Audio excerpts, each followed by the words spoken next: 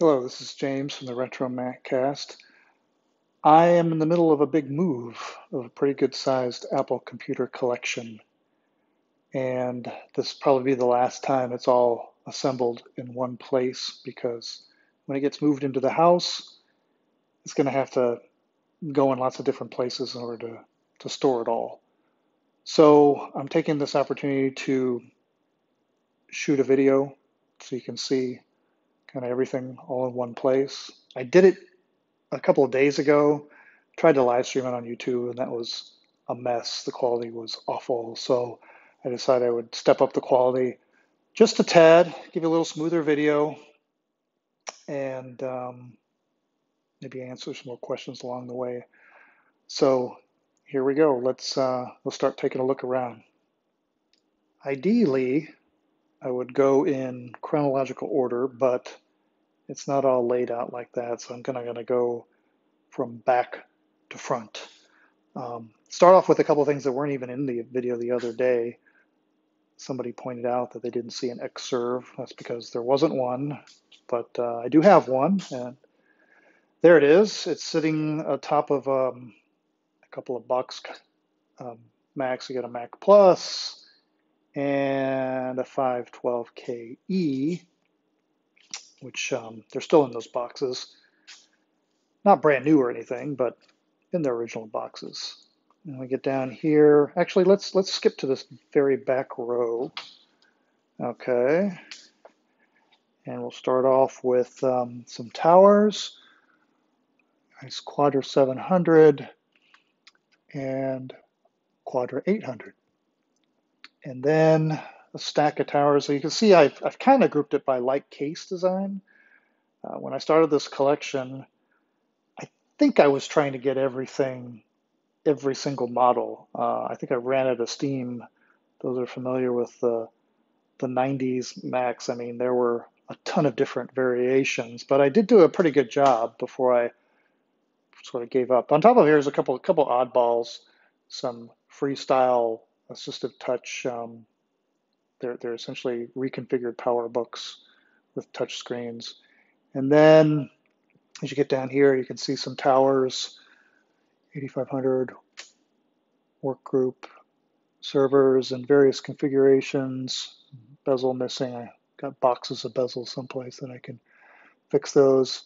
And then you go next here and a lot of different variations of that same case design, including uh, Power Macintosh G3, which was one I bought new, and then another oddity in there. Not a not an Apple computer in a traditional sense, but uh, threw it in there anyway. And then the the first of many portables that I have, um, and then just a stack of like cases, but different models. Although I think there's a there's a pair of two VXs. Let's see if we can, um, if we get down here, I don't know what's down there, uh, a Performa 600. And then let's see, let's go down here. Let's see we got here. All right, Quadra 660 AV, workgroup servers, different workgroup servers, Centris 610. Centris 610, um, PowerMac 6100, 66. Those two I actually own new too couple power books up here on the top. You got your G4 Cube. And the monitors, there's a lot of monitors. I'm just shooting just the computers themselves. There's stacks of monitors elsewhere. Eventually, I'll set up that, that G4 Cube with um, the appropriate monitor. You got your iMac, uh, titanium PowerBook, um, some other G3 era power books, and then towers down below 9600, a G3 tower, and a 9500. Okay, we'll move up here and we'll move along. At the top of this desk over here, of course, stack of iBooks, both the original clamshell and then the white ones, PowerBooks, a 12 inch sitting on top of 17 original MacBook Air, which I got new. Another iMac. The Mac Mini was missing before. I found it. There it is, the G4 original Mac Mini that I got new, and then the 20th, 20th anniversary Mac. Still works. Um, most of this stuff still works, last that I know it. That's the, it's been a while since some of these were fired up. Let's go down here now below. Another missing bezel. What do we got? An 8600. The original G5 Power Mac, which was mine that I bought new.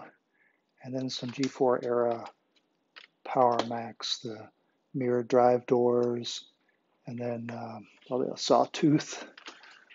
And let's see, let's move along over here. Some Apple IIs, the 2C, 2C Plus, 2GS, regular, and WAS. Then my, my lonely Apple III. I've got the Monitor 3 to go with that, and I'll set that up later in the museum. A pair of G4 iMacs, and then a slightly newer iMac. Um, you don't see these every day, the um, Apple Network server. Right? And then what else we got here? Quadra 630, Performa, and then a 6400 and 6500 Performa, and then the G3 all-in-one Mac for schools, sometimes called the Molar Mac. Another pair of laptops on top. Now we'll move to the next row. on the side here, um, let's go down in here. Let's see. All right, Power Macs, LC520, and stacks of LC, uh, the LC3, the Performa 400, and the Quadra 605 all shared a very similar case. And then the, the Power Mac 4400 with the odd left side floppy drive. There's another Performa and the Macintosh 950, and then a whole mess of PowerBooks. And there you see cases with, uh, that's the, the portable case, so there's a bunch of portables in there.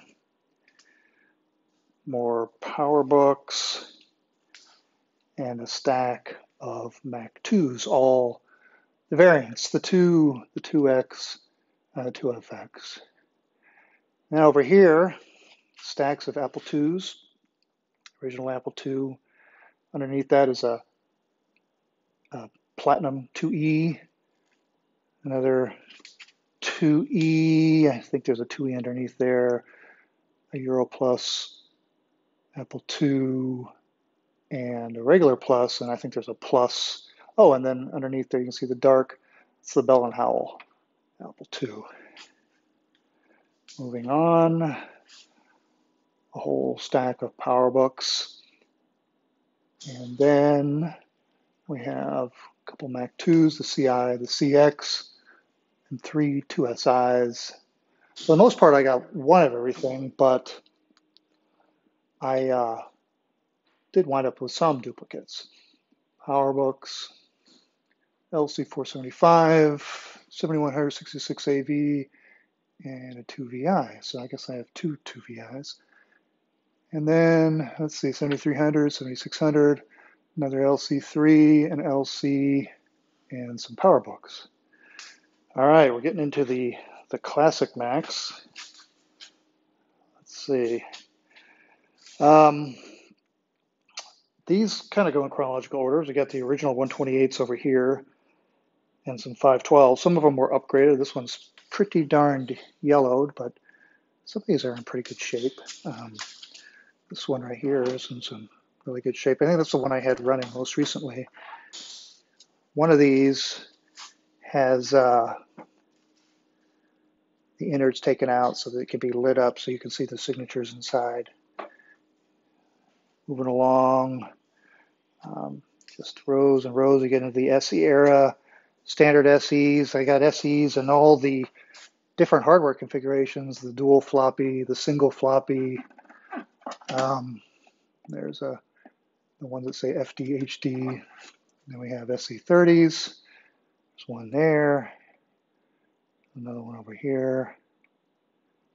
And uh, then the Performa 200, which uh, essentially the same as the Mac Classic. So you've got a bunch of classics over here. And the Classic 2, and then just three color classics. But one of them is the Color Classic 2, which is a Japanese model. So somewhere in my sea of keyboards is that Japanese keyboard. And then, let's see, a couple more Mac 2s, uh, spares some duo docks with the PowerBook Duos in them, and then a stack of Duos, one of them with the uh, the mini dock. A couple other randoms here, more PowerBooks, um, Centris 650 and a 660 AV down at the bottom. My lone Lisa, Lisa 2. Um, probably is in need, need of some repair to get it going again. And then a Mac TV. And I've got that complete with the black mouse, keyboard, remote control. Over on the right here, we've got um, couple of G3 Power Macs, another G4. There's the uh, the wind tunnel and an eMac. All right. Now, what are we going to do? We're going to cover the last row. This one has the iMacs, beginning with the original Bondi Blue iMac. That one was belonged to uh, my parents before I inherited it. Uh, I only have two tray loading iMacs. The other one is a grape. Once we get into their fruit flavors, and they had then the the uh, slot loading. So you've got your tangerine, blueberry, lime, strawberry, and grape. And then let's see, they had the, the indigo and the ruby. That's your gem series here, and the sage. And these are the kind of curiosity ones. The, I think they, they had to invent a cool process to get this into the case. The Blue Dalmatian and the Flower Power and Graphite and Snow.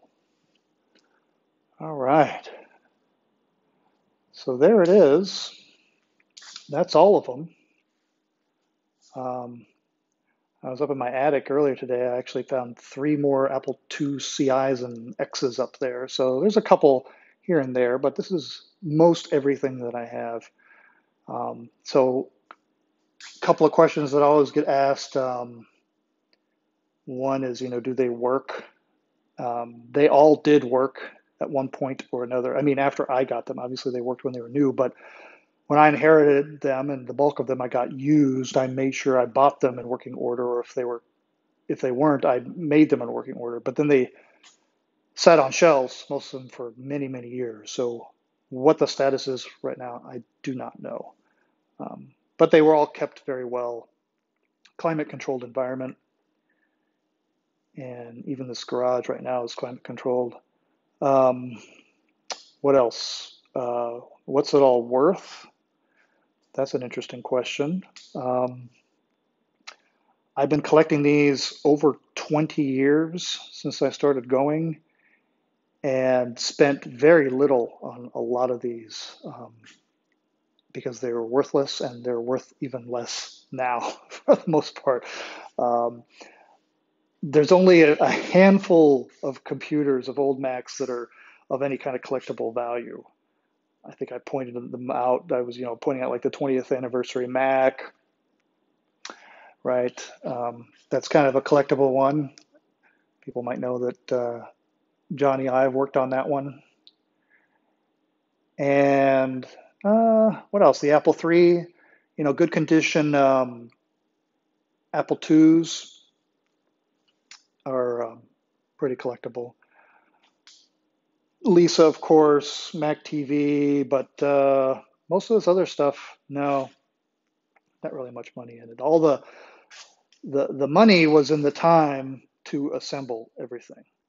Um, I think you know when I originally thought I was going to get every single model, I eventually slowed down and got settled on the idea. Well, I'll get every case slash processor configuration. So to make sure that everything is represented. So if, if, if you had a Mac, chances are there's something here that looks pretty darn close to it. it may not have exactly the insides, but um, you'd recognize it from a distance. Um, one thing I should have answered earlier, uh, the question like why, like what's the point? Uh, uh, just briefly on that. So I started in middle school with Apple IIs.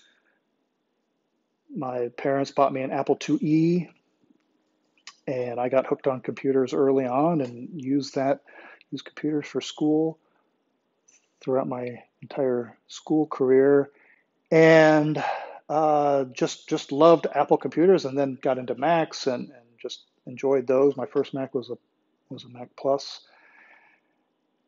But when you're uh, growing up um, in school or you know early in your career, you can't really afford the best stuff. You're always getting entry level, and eBay comes along, and all of a sudden people were dumping these computers, models that I lusted after when I was younger, and then I could have them, you know, for pennies on the dollar. So I would get one, I would get another, and, and uh, just start building it up. And um, that collection eventually led to the podcast, which we still do, John and I, to this day. So I hope you enjoyed looking at all this. Um, the next step is to haul this all upstairs. I'm not sure that was the best idea to put a computer museum in the upstairs of a house, but that's uh, where all this has to go. Um, a lot of it will go in the attic, which our attic is insulated, so it should be pretty good from the temperatures. And then uh, the rest will go in uh, a new museum um, in my room. So there'll be more to come on that. If you're not already listening to John and me on the RetroMacCast, we're been doing this um, podcast since 2006. And since the pandemic started, we've been streaming on Sundays at 8 a.m. Central.